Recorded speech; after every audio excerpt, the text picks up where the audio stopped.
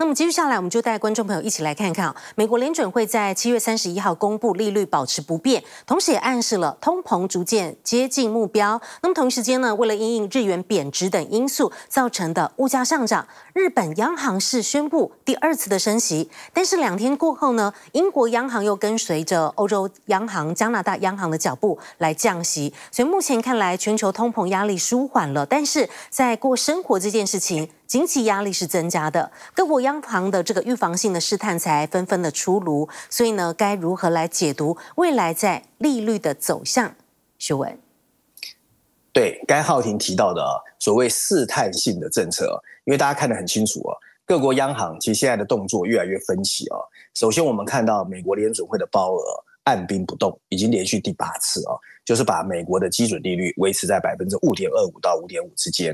可是同时间呢，日本人扛不住了，所以日本央行第二次哦，因为上一次是三月份哦，决定调高利率一码哦。那当主要原因是因为呢，跟美国的利差逼得日本其实最近压力也非常的大。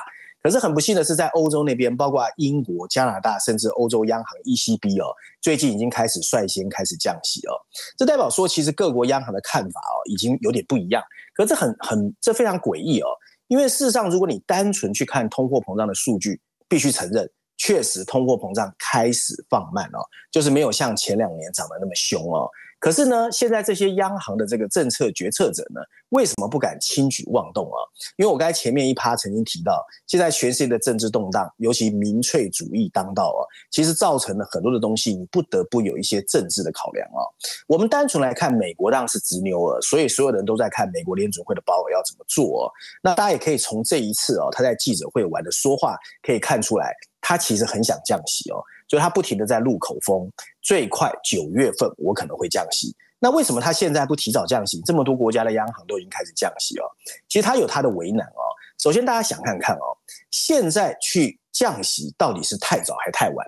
首先他担心的是太早哦，因为美国我刚才前面有说到，经济数据并不如预期。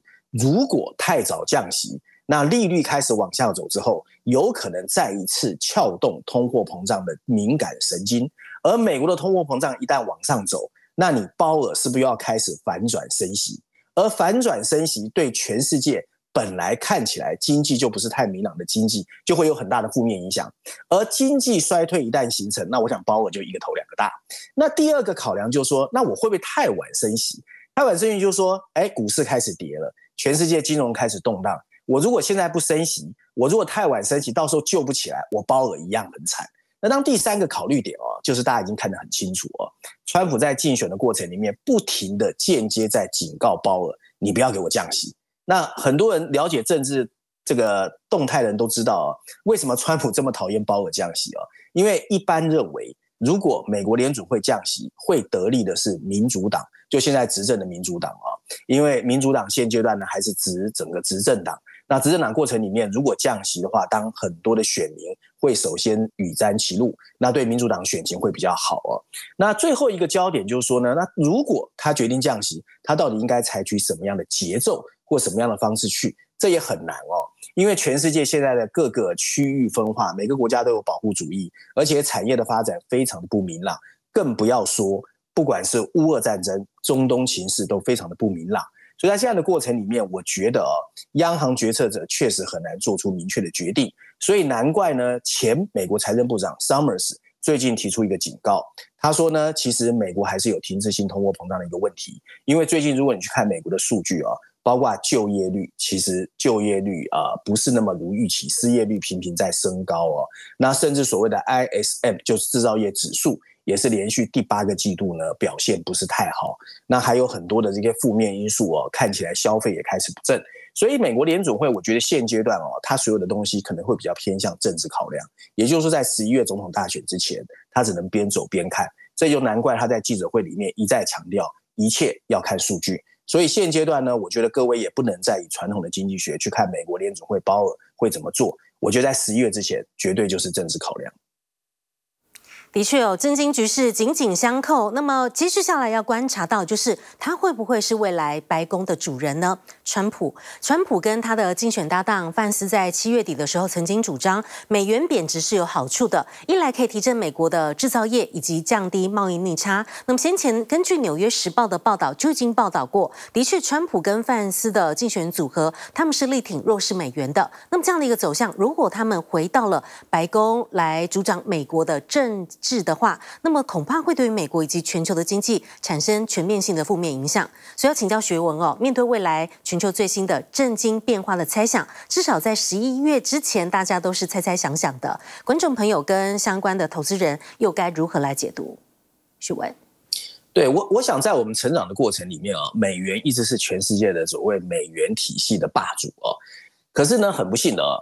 从七月份以来，尤其是上一次川普的这所谓枪杀事件之后啊，川普的声势非常高，所以现在全世界的政治跟经济啊。这两个领域啊，都充斥着各种跟川普有关的名词。你譬如说，川普恐慌啦，川普交易啦，或者各种川普相关的名词啊。那本来川普呢，还算是一个变来变去的人啊，因为他其实最早的时候曾经一直喊，他觉得美元绝对应该要贬值，就是他非常支持美元贬值，他觉得美元升值是一个非常可恶的事情啊。可是中间的过程里面，他又曾经见风转舵，认为美元强势也不是坏处。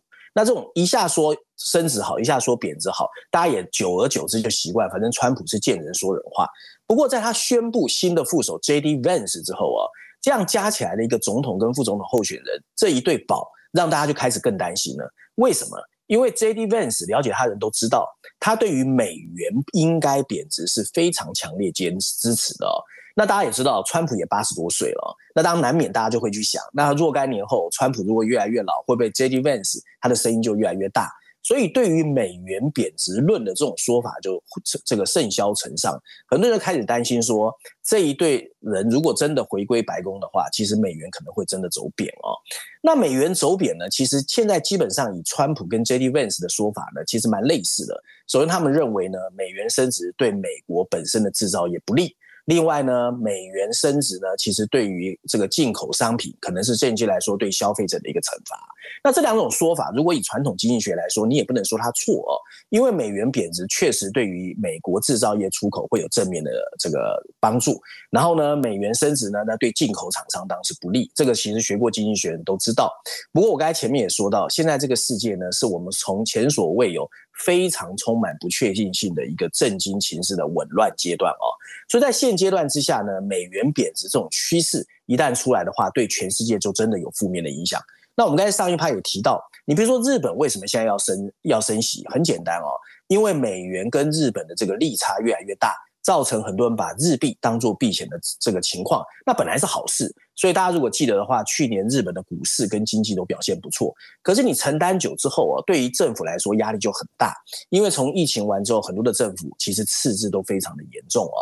所以现阶段美元贬值呢，其实我觉得对全世界的执所有的执政党或者是政府来说，都是一个前所未有的一个情况。因为大家知道，即使到今天哦。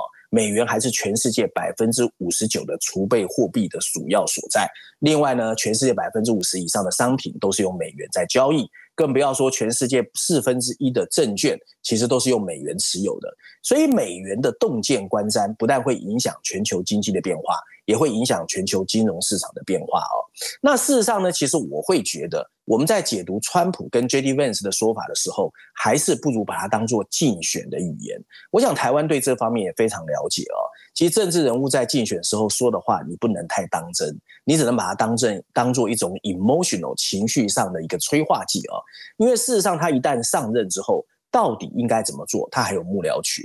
那美元强势这件事情呢，其实说实在。美国所谓的美元微笑，其实美国吃了非常多的红利哦。大家想看看，在过去一百年，其实所谓的干预货币这件事情啊，其实是可以说一说不能做的。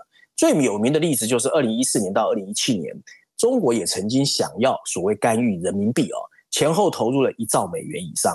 更不要说呢，在前阵子，日本为了干预所谓的日元，也投入了七百亿哦。